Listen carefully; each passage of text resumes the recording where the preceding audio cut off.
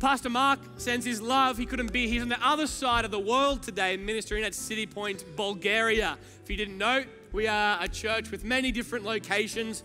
One of them happens to be in Bulgaria, so Pastor Mark is around there today.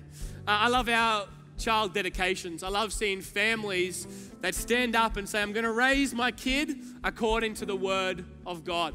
The Word of God is the most powerful thing for shaping a human life that I think exists. It's described as many things in the Bible. It's described as bread, that it gives us sustenance. It's described as a hammer, that it beats even rock and breaks you down. But one of the things it's described as is a mirror, that often to know how you truly look in the day, you need to look in a mirror. You can see certain things about yourself. You can see certain things about the way you are dressed. But if you want to see the true way that you look, you need a mirror. And the Bible is that. It shows us our true condition, how we truly are. And so it is my honor to bring the Word of God today. And I believe if you lean into it, the Word of God can transform you every single day you read it. If you come into this knowing or thinking that you have it all together, that this word has nothing for you, I guarantee you'll be correct. But if you come into today knowing that the word of God could change you, I guarantee you'll be correct as well. So let's come around the word of God today. Galatians chapter 2 is our key scripture. It's where we're camping for the day. And uh, Galatians chapter 2 is a story of how the Apostle Peter is getting in trouble again he seems to get in trouble a lot. He uh, is in trouble for cutting people's ears off. He's in trouble for trying to stop Jesus go to the cross. And here, it's not Jesus getting up him, but Paul. And so we pick up the story in Galatians 2, chapter uh, verse 11. But when Cephas came to Antioch, Cephas is Peter, I opposed him to his face because he stood condemned. For he regularly ate with the Gentiles before certain men came from James. However, when they came, he withdrew. He separated himself because he feared those from the circumcision party. Now, I'm going to call these guys the conservative party moving forward because I don't really want to say circumcision 12 times during my preach. and uh, I, I, often find this is a, a weird line to draw in the sand for, a, like most religious groups have a line they draw in the sand, like this is where salvation exists no matter if it's Christian or not. It can be enlightenment and nirvana, but, but these guys, this is the hill they want to die on right there. That's, and, and so I'm going to call them the conservative group. So, amongst the Jewish people, there were different subgroups of people. And these men from James were these real conservative Jewish people. And they came back after and seeing, seeing Peter eat with the Gentiles, they were coming to confront him. The rest of the Jews joined in Peter's hypocrisy so that even Barnabas was led astray. But when I saw that they were deviating from the truth of the gospel, this is Paul speaking, I told Peter in front of everyone, if you who are a Jew live like a Gentile and not like a Jew, how can you, then you compel Gentiles to live like Jews? If you're saying you can act this way, but you're saying to them they have to act that way, that's hypocrisy. Verses 15 to 19 is unpacking that statement, that hypocrisy that Peter was living out. And verse 20 says this at the end of it, Paul says this I have been crucified with Christ, and I no longer live, but Christ lives in me. The life I now live in the body, I live by faith in the Son of God who loved me and gave himself for me. This is what I'm camping around today. This is where, where I'm packing. And, and some context for this is that Peter himself was Jewish. The Jewish people believed up to that point that God was the God of Israel alone. That if you're a part of Israel, God was taking care of you. But Peter had this amazing revelation, this transformative moment of his understanding as he understood that Jesus didn't just come to save Israel, but came to save the world, all nations. He had this moment in Acts chapter 10 where he was sitting on a roof and this vision happened a tablecloth descended from heaven, and on it were all these animals that the Jewish people would deem unclean. Yet he was told three times, Go eat, kill, go eat, kill. In essence, saying that the gospel, the good word of God, wasn't just for Israel and the Jewish people, but now should spread to all the people of the world who would receive it. That was the revelation that Peter got, this incredible revelation that everyone can have the good news of God, yet even with that, a revelation from heaven itself.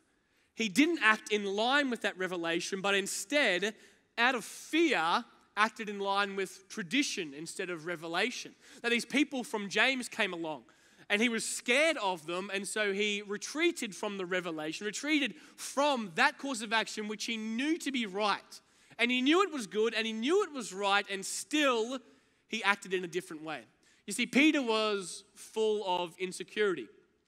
And that's what insecurity does. Insecurity makes a person act differently than their core beliefs or say things that later they're like, I, I didn't really want to say that. There was pressure on my life that made me act or say things in a different way.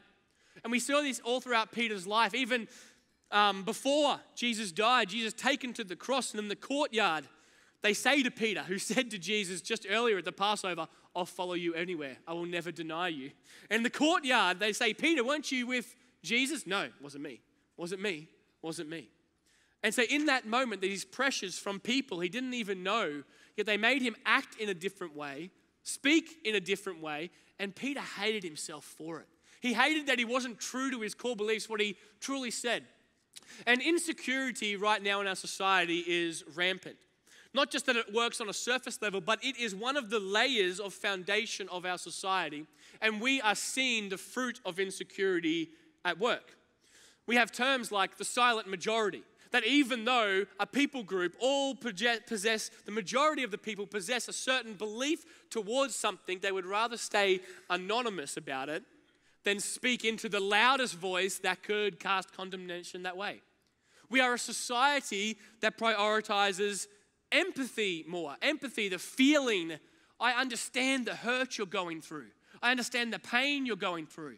But empathy doesn't move them through it, compassion does. We have a society that prioritizes empathy over compassion. Compassion is the care for the person that sees them move through their pain into a greater future. Yet we have a society that says, no, just, just understand my pain. Let me sit in my pain. Let me stay there.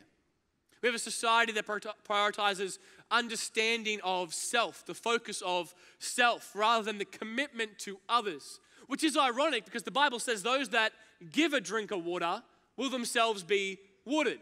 That in order to truly take care of yourself, you, you take care of others.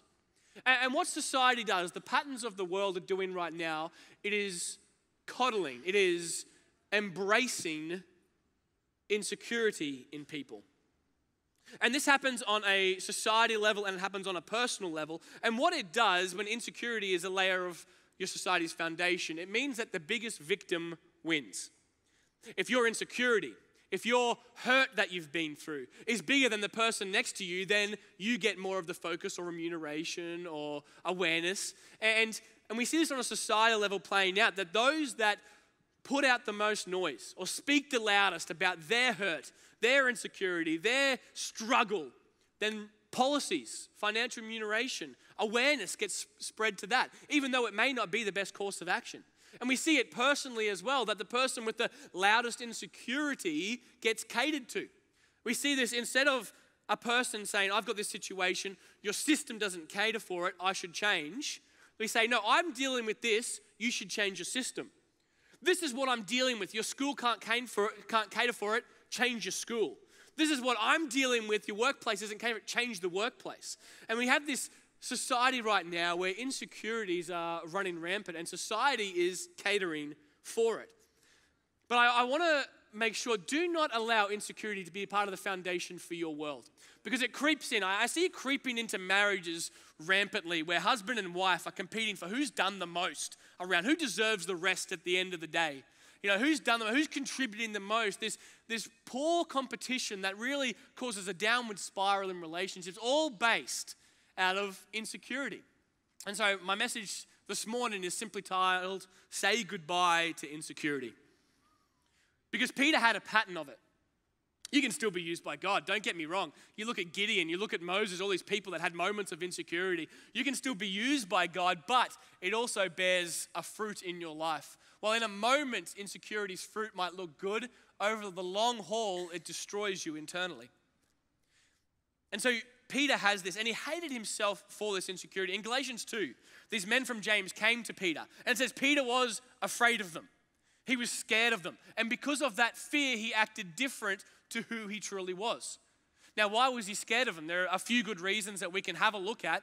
and we can guess, but these are probably just guesses based on the historical context. One, he was scared of violence. That these men from James were these really conservative, radical conservative people, and they may have been come because they were he was preaching something different to they believe. They may have come and acted with violence towards him, taking him out. He could have been fearful of that. He may have been scared that he would now have to give a theological account to the Jerusalem church, which he was leading, as to why he's neglecting Leviticus 11, which says, you know, don't break bread with Gentiles or people who aren't of uh, Jewish descent. He may have had to do that. Might be just, oh, don't want to go through that. That's a huge overhaul, systemic overhaul. Don't want to do that. But one of the major ones I think was, was possible is that he needed the backing of that conservative party that was coming against him in order to stay in power in the Jerusalem church. By the end of Acts, James was running the church, not Peter. And so that might have been the case as well that sometimes when you're holding something and it becomes part of your identity, if I have this, if I'm a leader in this, or this is my project, and someone comes to take it away, and I'll conform to what you demand of me if I can just keep this. And that might have been the insecurity working in Peter's life. But whatever the reason was, Peter dances to a different tune than he normally would have. He acts differently, behaves differently. And this is the hallmark of insecurity. It makes you do things you didn't want to do, makes you say things that aren't true to what you truly believe in here, and behave ways that later on you regret, regret, regret behaving. And although we naturally have a spiritually genetic sin disposition, that when we are born because of the fall of Adam and Eve, we're born into that. I think insecurity is more of a nurture thing than a nature thing. More of a making and unmaking. You can make it, you can become more insecure and become more secure. In fact, the pattern of this world is currently to make people more insecure. Let me tell you what I why I think that. A common example of this is the insecure overachiever. And this is what how the Harvard Business Review uh, describes this. It says, there's a type of person, the insecure overachiever, that many firms and businesses intentionally recruit and cultivate. Because organizations that are driven by the bottom line instill this culture that the only wins that matter are the wins of tomorrow the only money that you bring, the only victories that happen the winter tomorrow, and you are only as valuable to your colleagues and clients as the value and the achievements that you bring into the organization.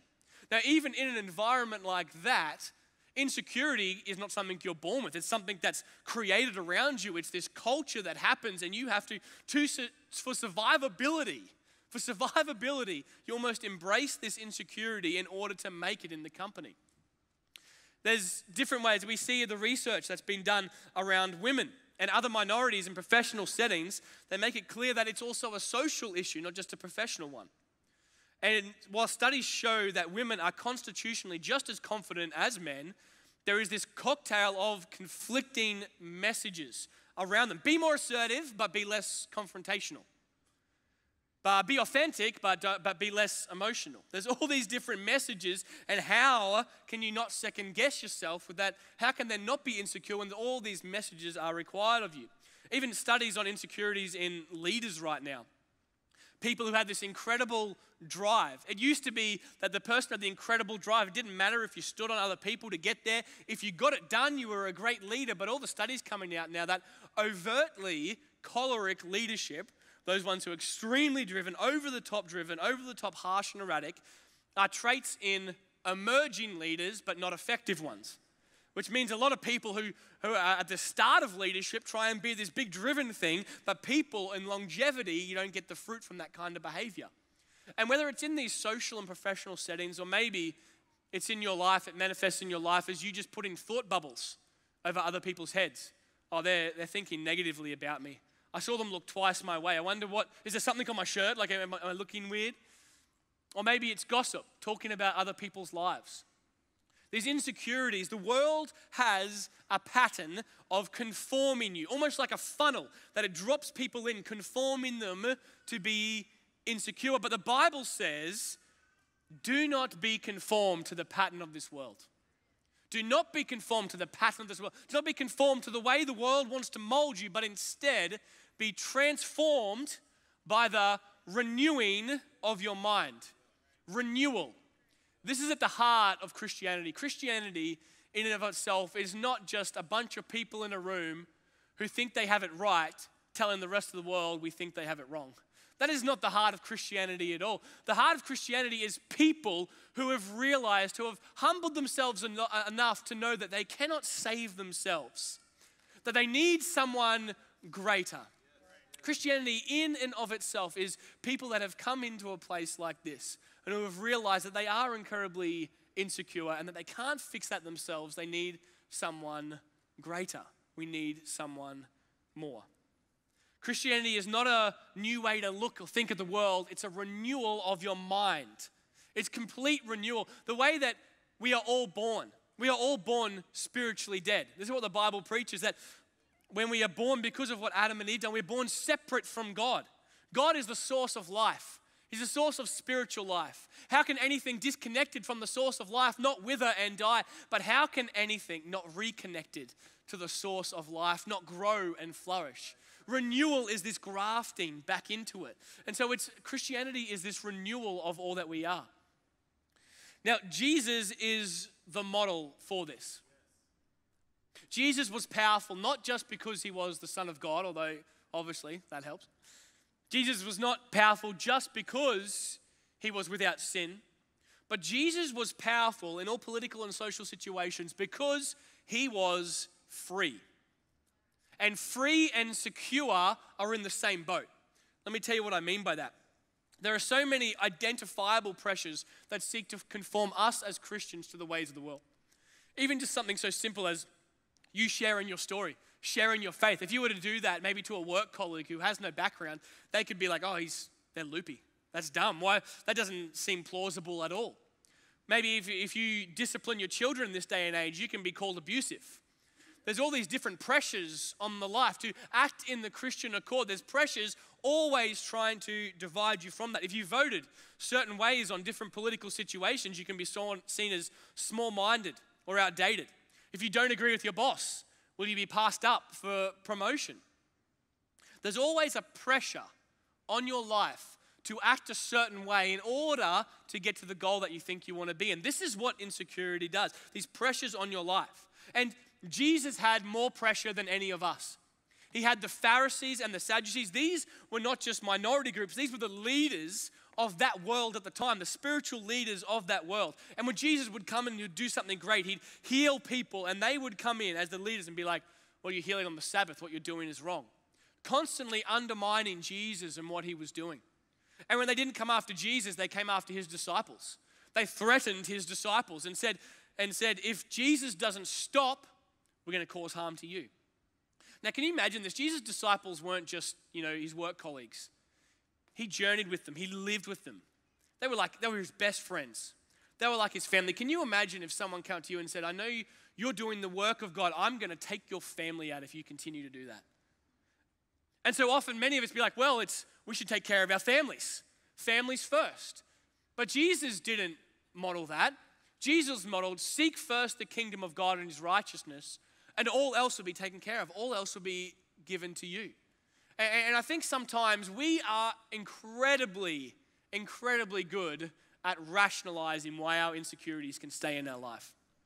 We tie a Christianese bow around it, we put Christian language around it. But I am convinced of this if you torture the scriptures, they'll confess to anything.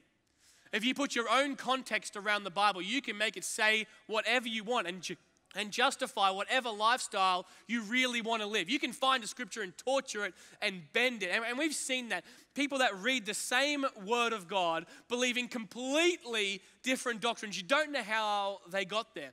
And so you have to be careful that you aren't rationalizing why your insecurity could stay in your life because it'll do you more harm than good. I see people striving for likes and recognition on social media when they're afraid to have a real face to face relationship because face to face, for me to have a relationship with Dave, I have to let him know who I am. He has to know bad things about me in order for us to go close. If I'm on social media, there is a pathway for my insecurity to stay, but for me to be drip fed the gratification of another like on my posts. The world has created ways for your insecurity to stay in your life. But Jesus had all these same pressures. And not even only from the Sadducees and Pharisees, he had it from his own camp. His own camp wanted to make him king. Jesus, you're awesome. Look at all you're doing. You're better than our rulers. Take this earthly position. And I wonder how many of us would say, wow, what a great open door from God. I wonder how much he could have achieved if he had the earthly position. He could reform the planet. Yet Jesus, time after time, refused. Even when Satan came and said, I will give you the whole world if you just kneel at my feet. Jesus constantly refused. And what was he doing? He was resisting these attempts, these manipulation attempts to attach him to a human agenda or a spiritual agenda. Jesus was staying free. No one could control Jesus. This is what made him so powerful in every situation, every social, every political. He stayed true and steadfast to God's specific will for him and the higher principles he lived by. No one could control Jesus because insecurities are like a lever that attaches, yourself to, attaches itself to your life. And someone else can get on the end of that lever and pull it and make you do things that you didn't want to do. That's what insecurities does to a life. That's what we see in Peter here. He was someone who was supposed to take this new revelation that the gospel is for all the world, yet this one party, these men from James, pulled this lever and his insecurities make him dance to a different tune. And we all have these levers in our lives. I remember in, in grade 12, I, was, um, I did well academically in school, and they had an award, I'm sure they still have it, which was the Dux of the School. Grade 12 came, I had no thoughts around that whatsoever. Until Graham Polkinghorne told me he wanted the Dux of the School. And then I wanted nothing more than being Dux of the School. And so I put the effort in, and I eventually got it. But I didn't get dux at the school because someone who was smart got their achievements recognized. I got it because I wanted to be better than someone else. This insecurity within me, that, that insecure overachiever. And while in this situation, it bore a fruit that was good for my life, because insecurity can bear a fruit, like we've seen in that Harvard Business Review.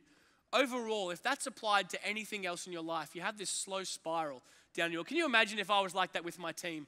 That if ever Dave tried to do something better than me, I would, I would shut it down. It caps a whole, it would cap the church, it would cap an organization, it would, it would cap that. And imagine people in their own friendship groups doing that. No one in the friendship group can do better than you because you are insecure. No one else can speak about that. It's such a dangerous habit. What are your levers today? What are the levers that are on your life that people or situations can pull them and you dance for their tune? If you weren't loved well by your parents growing up, then approval is a huge lever in our society people pleasing. You need the approval of someone else to do it. If you didn't have much growing up and you know what it's like to be not have enough financially, then some people chase that their whole lives. They chase financial security their whole life. If they can just have enough the house, the car, the everything that they don't have to be scared all the time. That can be a lever that's pulled on your life. If you are praised for achieving, then maybe workaholic. Workaholism is, is something that you suffer from, a lever of your life. We all have these levers, but, but Jesus had no levers. You couldn't make Jesus dance to any tune. You couldn't make him march to any drum beat outside of that of the gospel. There was no way for the Pharisees or the Sadducees to align him with their agenda. And, and this is why he was always the most powerful person in any room that he walked into, because he was the freest, he was the most secure. And for you to reach your God given potential, you cannot be dancing on the puppet strings of insecurity. The most powerful person in the room is not the one with the greatest earthly position, because there is a spiritual power that is higher than any power on earth. The most powerful person in the room is not the most well liked or got the highest approval rating, because even humanity's approval cannot buy you a ticket for heaven. No, the most powerful person in the room has always been the freest person. When you're in a meeting and no one else can form you to conform to someone else's agenda or personal crusade because you are only pulled by one lever and God has his hand on that. That you walk according to his potential, his plan, and his purpose for your life. The world needs more secure people. And that wasn't Peter. So Paul confronts Peter. When I saw that they were deviating from the truth of the gospel, security in Christ is the truth of the gospel, I withstood him to his face. And what's the solution here? Well, the theme of the month is the gospel, so If you can read into it, the gospel is the answer. But a lot of people don't turn that way for the solution for insecurity. Because one of the easiest things to do when you are insecure or someone has their hand on a lever of your life is to, is to try detachment. If I can be a bit more autonomous in the way that I act, if I can care a little bit less about what people think. And this is an entirely almost Buddhist approach. Try and make yourself this island. Because if those things can hurt me, if I can detach from caring about them, then they can no longer hurt me. Detach your heart from caring. That's a very Buddhist approach. You can be an island, but it's counterintuitive because most of the insecurities that humanity faces is because uh, stem from not having solid, meaningful relationships. And so that approach actually causes more insecurity. We are designed to belong. Belonging is one of the most foundational core tenets of what it means to be a human being. And so, detachment, caring less, being impersonal, that is not an answer to insecurity. And in fact, it'll enhance it in your life. No, verse 20, what Paul says, this is where we get to the, the true answer. I have been crucified with Christ. And I no longer live, but Christ who lives in me. I've been crucified with Christ. I no longer live, but Christ who lives in me. Next, next week, we celebrate Baptism Sunday. There's three parts to every baptism that signifies three things that happen in a spiritual walk. When you go under the water, there's this death that happens to the old you. The Bible talks about the old you, an old creation, the one who was spiritually, genetically caught in sin the, bur- the death of that person, the burial of that person under the water. And then when you rise out, a new creation, resurrection with Christ. No longer you with the insecurities, with the sin, with the shame that lives, but now you walk in the fullness of Christ. That Jesus Christ on the, top, on the cross took what you were due so that you can walk in the freedom that he was due. He was a man who was without sin, without shame, without insecurity, completely secure. So, how can we walk around secure? Because it's no longer us that walks around. You may be able to be controlled, but Jesus Christ cannot be controlled. So, you have to preach the cross to yourself every day. You can't outsource your faith. Jesus Christ is the author, the pioneer, and the finisher of your faith. But that whole gap in between, you got to keep preaching the cross to yourself. You can't live off one meal at church a week. No one can live off that. You've got to preach the cross to yourself every day. The second part of the solution is this I live by faith in the Son of God, I live by faith in Jesus, who loved me and gave himself for me.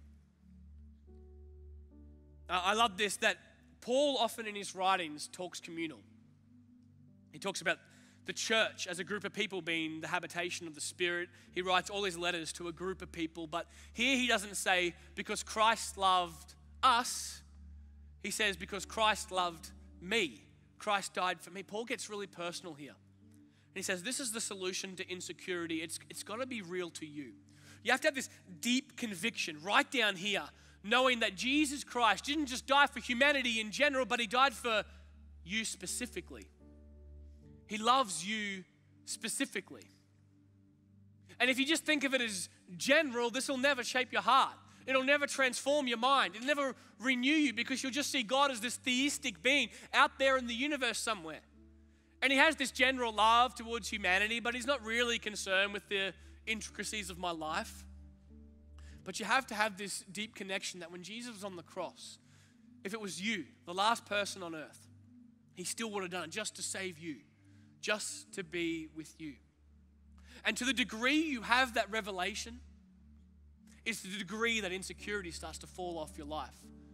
Like scales falling off your life. Because when you look at the cross like this, let me show you how it works. Let me show you how you preach the cross to yourself. If you are a people pleaser, if you know that about yourself, and look, if you ask the people around you, they'll be able to tell you what your insecurities are. If you, if you are a people pleaser, you need the approval of humanity to feel good about yourself.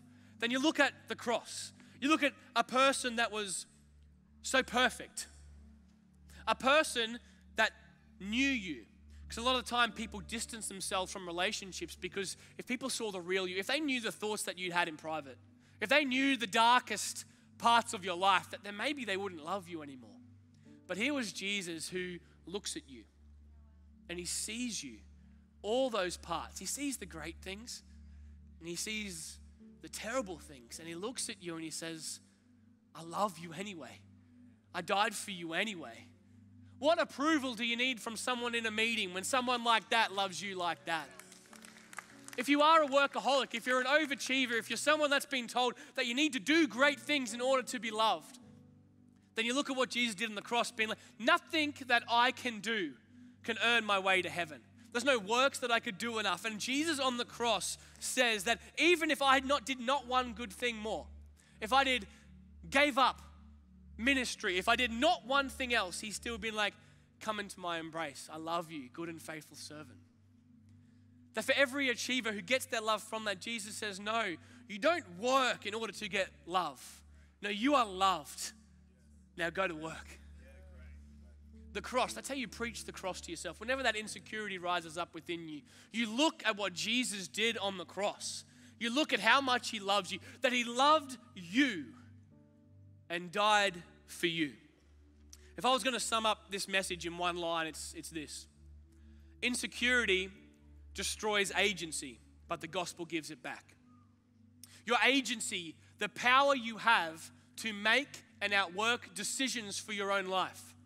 Insecurity takes this. And this is what I'm seeing in society so much right now. People are where they are.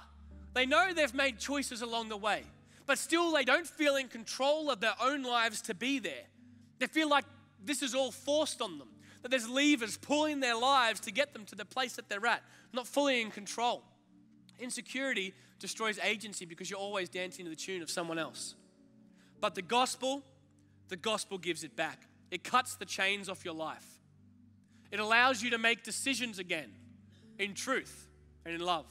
The world needs more secure people to move forward, to take society forward, to take your life forward, take your family forward.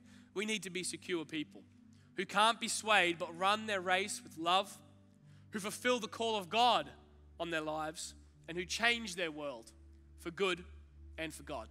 Let me pray as we close today. God, I thank you for the gospel. Jesus, I thank you for your sacrifice, that what you did on the cross wasn't just saving our soul, but you transform our mind with the revelation of it. God, I speak to the insecurities in people's lives today. And God, I ask you to shine the truth of your gospel on it.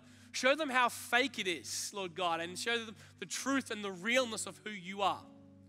God, I pray for this church that we be a church of secure people a church not afraid or not swayed by the influences of other people, but can stand in the truth of your love and your gospel. And for people in this room today, all heads bowed and eyes are closed, people in this room today who don't know you yet, God, I want to pray for them in just a moment. This morning, maybe that is you. You are insecurity plagues your life because you don't have the security of Jesus. You don't have him in your life. You've never made the choice to follow him. Or maybe, maybe you kind of like the way this all sounds, the Christian thing, but you haven't had that spiritual renewal, that spiritual rebirth, just deciding to follow Jesus as your Lord and your Savior, not just to follow his ways or subscribe to church like you do any other YouTube page or whatever it may be. No, Jesus came to be your Savior and your Lord. You lay down your life, like in baptism, you lay down, the old you dies, and a new you is reborn, a new you that walks in the fruit of the Spirit with goodness and love and peace and joy and patience. That is how you are to live life as a new creation in God. It starts with one decision to follow Jesus Christ, to know Him. Do you know Him? Do you know He loves you? Do you know He died for you? If you need that today, if you need to make that decision today, on the count of three, I just want you to raise your hand. And I'm going to pray with you. And God's going to do a miracle in your heart. One, if that's you today, something could be resonating inside of the Holy Spirit. Says we don't need anyone to teach us, but He will make known His truths. That right now, as I've been speaking, something's been resonating in your heart that this is for you. Two, it doesn't matter what you've done, it doesn't matter how far you've gone, how much you've deviated from this. Doesn't matter if you've made this decision before, this decision is the most important one that you can make. If you need to make a decision to follow Jesus, one, two, Three. Just raise your hand so I know who I'm praying with is in this place. Thank you. Thank you. I see that hand. Thank you. I see that hand. Thank you. Amazing. See that hand. Thank you at the back. Great decision.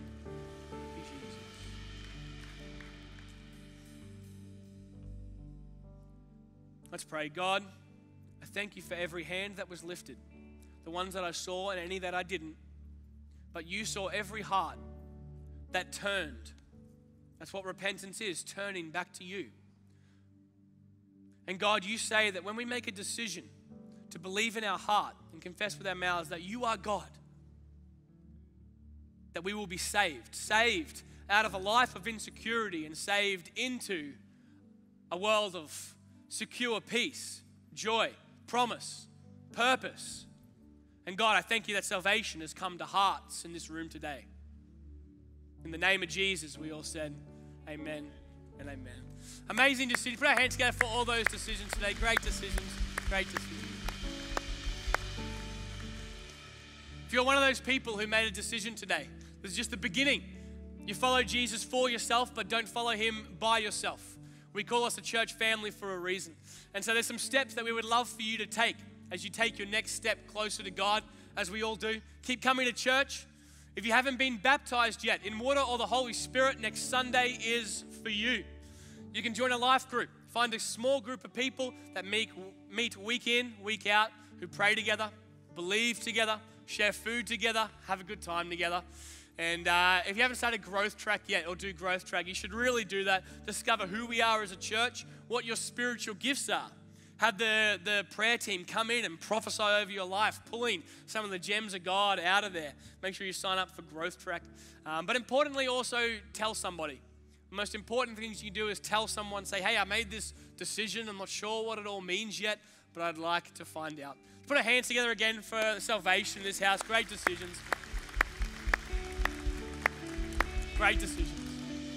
Well, that's all from me today. Pastor Ruben's going to come and close the service, but have a great week, Citipointe. Thank you, Pastor Chris, for that phenomenal word. Amazing. What a great word. I just found out today that Pastor Chris got the dux in his school. What a clever man. Must be nice, eh? The dux in his school. Um, hey, we're going to come around a time of giving this morning, and the different ways of giving on the screen behind me. Uh, we have the QR codes in front of us, the buckets will be going around, and we have the giving stations on the back or online, whatever way is easiest for you. Um, but I love this scripture here in Luke, and says this. It's coming, a promise. Luke 6:38. Give, and it will be given to you a good measure, pressed down, shaken together, and running over will be poured into your lap. For with the measure you use, it will be measured back to you. And let me tell you something this morning, church. I, I love to cook. I, I love to cook. And, and, there are moments when we won't have anything in the fridge, and Mel's like, babe, like, we got to get takeout tonight because we got nothing in the fridge, we got nothing in the pantry. And I'm like, what do you mean? We are surely like we have something. And she's like, oh, she, she might say, Oh, we have chicken in the freezer and some rice. I'm like, Great, I can work with that. Perfect, I can do something with that. She's like, Oh, as if I'm like, Watch me. And I, I get that chicken and I start like getting the seasoning from the cupboard. I'll get like spices and herbs and put them on this chicken to make the flavors pop. I'll start cooking that chicken down real low because we don't want that dry, dry chicken. Dry chicken's from the devil. We want juicy chicken. So I'll cook it from the like a low temperature and bring that bad boy up. And then I'll start reducing the sauce and then I'll put that chicken on the rice and then and then drizzle the sauce over. And without fail, every time Mel's like, "How did you make this from a couple of ingredients like that?" And um, I've got some good news this morning, church, is that God also likes to cook. He likes to cook, and when we give him ingredients, man, he makes something beautiful out of it. Like better than any Michelin star chef out there. In other words, when we release to God, he does something with that. When we release our seed to God, he does something supernatural. When we release our faith, he does something supernatural with that. When we release our prayers, He does something supernatural with that. And in the same way, when we release our finances, He also does something supernatural with that. Is that is so much better in His hands than it is in our hands. And I know that a lot of us are probably praying, God, we just want to see the miraculous. We want to see the 5,000 fed, but we're holding onto our fish and we're holding onto our bread. God's just saying, Would you partner with me? Would you release that in faith so we can see the miraculous take place? So I want we to shut our eyes this morning. Let me pray. God, I just thank you so much that, Lord, you were first generous with us, God. We thank you that as we sow a seed, no matter the size of the seed, you are the one who brings increase, Father. So, Lord, we thank you, Lord, that you will breathe upon it, Father, that you will multiply it, and you'll do so much greater than we ever could have imagined, Jesus. God, we thank you for Brisbane, the city of God. Father, we love you in Jesus' mighty name. We all said, Amen and amen. The buckets are coming around, and we're going to throw our eyes to the screen and see what's coming up in the life of our church. Well, Easter is upon us. And honestly, it's the hallmark weekend of our spiritual year. It's the, the time we set aside and we celebrate, we remember the greatest event in human history the death and the resurrection of Jesus Christ. Because of that event, uh, we're here as believers in Christ with eternity in our future. Uh, it's such an important weekend, and the story needs to be told. So many people don't know uh, what we celebrate Easter about. So make sure you don't come alone. Bring your family, invite your friends, your neighbors, your workmates. It's going to be an incredible time. And to make sure you know when and where, go to the website, find your nearest Citipointe location, find out what times Good Friday services are going to be, and then again on Sunday. Let's celebrate Easter together powerfully.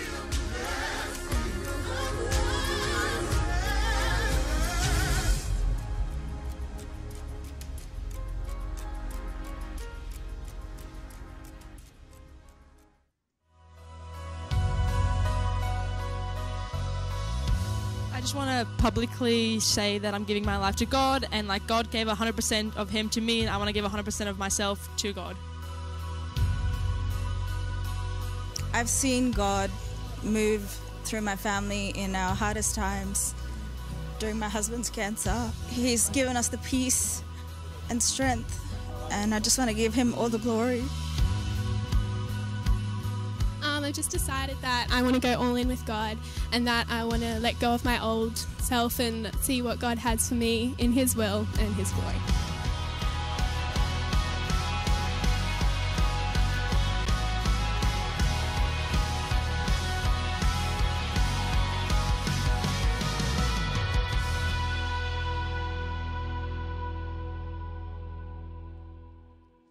Amazing. Baptism Sunday is next Sunday. And um, I love Baptism Sunday. I always get so excited. Um, when Pastor Chris was talking about it before, I was getting so pumped up.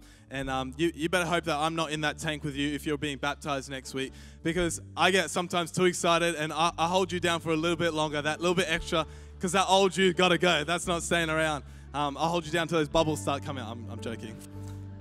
But I love it so much. And, and the moment that your nose breaks through that surface and you come up and you're a new creation in Christ Jesus is so powerful. That's the gospel right there, right? Bringing dead things back to life.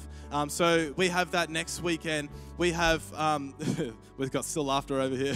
we got um, the water baptisms outside on the green, and that's after the 10 15 and the 5 p.m. And then we have Holy Spirit baptisms on the side of stage here um, after the 8:30, the 10:15, and the 5 p.m. And if you haven't been baptized in the Holy Spirit, um, this is your moment. This is your opportunity. Come and do that. Come and be filled with the Holy Spirit because God wants to move powerfully um, through our lives as we outwalk this walk that He has called us to um, do.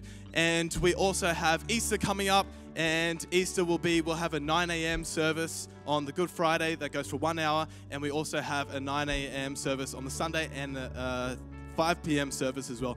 But hey, we get to come together as a family and we get to celebrate the death and the resurrection of Jesus. That's like the pinnacle of our faith right there. And I heard that at the 10:15 there is an Easter egg hunt for all the adults. Um, I mean, for all the kids, I saw all your adults' eyes lighting up like Easter egg hunt. Going on? I know we can take those Easter eggs off the kids once we get home. That's that's the idea there. But um, that's also happening. So invite your family, invite your friends. Um, and we also have SWB for all the ladies just around the corner. Um, I love what the youth guys said last week. They were so crack up. They said, guys, if you want to get rid of the girls for the weekend, get them a rego for SWB. But um, it, it's always a powerful weekend, and, and um, part time regos have just opened up, and you can get that in the foyer there. But hey, church, that's all from me. Why don't we all be upstanding? We're going to go out praising the King of Kings and the Lord of the Lords because He is good, He is faithful.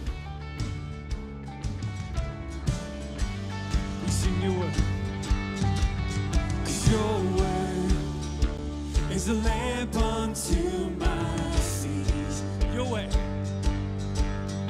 Your way. Is the only